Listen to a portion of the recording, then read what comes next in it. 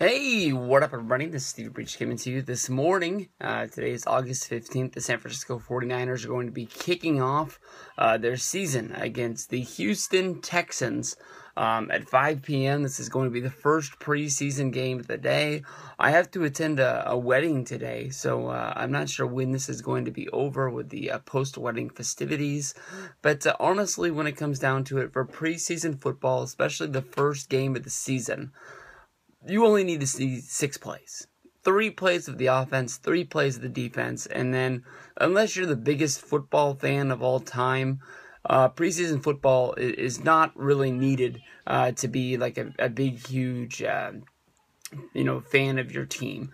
This year is going to be rough enough as it is. I don't need to be watching, you know, uh, four quarters of uh, preseason football of guys that are more than likely not even going to be on the team by next week or not even be on uh, the team by, uh, you know, the uh, opening of the season. If you, if you want to watch good football, um, you go back and, and, it was great when the Raiders and the, uh, the Niners would play in the preseason, especially if it was in like game three or game four of the, of the, of the, uh, uh, preseason, and you really see guys out there fighting for jobs in the third and the fourth quarter, trying to you know hang on as the last wide receiver. Um, these were guys that would go out and uh, really uh, try their best to make plays and uh, really be getting it done.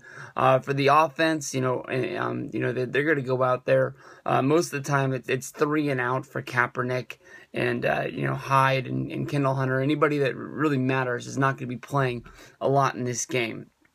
Um, I'm hoping that the Niners can win because we're not going to get that many wins this this season.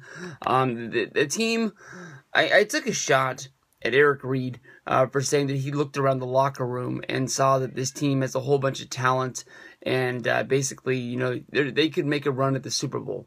Uh, that was before uh, the arrest and, and the release um, and just the, all the bad publicity to, to, cap off the whole offseason, which was a terrible uh, run for the 49ers. I don't know. Uh, we still have Colin Kaepernick under center. Um, if he goes down due to injury, um, we're really screwed uh, with only having Blaine Gabbert and Dylan Thompson behind him. Um, Carlos Hyde's going to be taking the number one slot at running back this year with Kendall Hunter behind him. Um, lots of people talk about Reggie Bush being on the team. I think that Reggie Bush is just going to be on the team. Maybe one, uh, maybe like one game he might go off for a few yards here or there, but uh, I, I don't see him being a game decider um, week in and week out for the 49ers. I, I, think you're lucky if maybe he makes a play uh, and, you know, picks up three or four yards, and that's really all I'll be looking forward to out of Reggie Bush.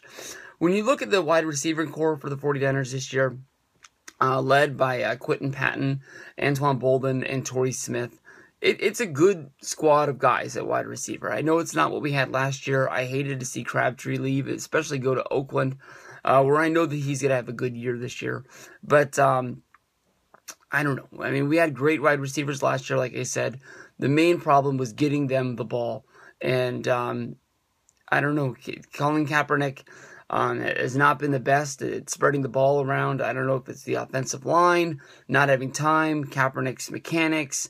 But uh, I think even last year we could have the best wide receivers in the world out there, and uh, we'd still be having trouble. At tight end, we got Vernon Davis, and we have uh, Bruce Miller. Uh, so we should be set there, but the problem is mainly just getting them the ball.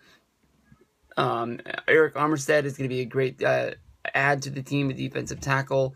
Uh, we still have Glenn Dorsey, who didn't get to play a lot last year. Um, so the line should be set on defense. Uh, linebackers cores, I, I, I mean, this will be the return of Bowman. We still have Brooks. Um, you know that this is the Niners. The one thing they do right is draft linebackers. So there'll probably be some guy on that list that we don't even know who he is right now.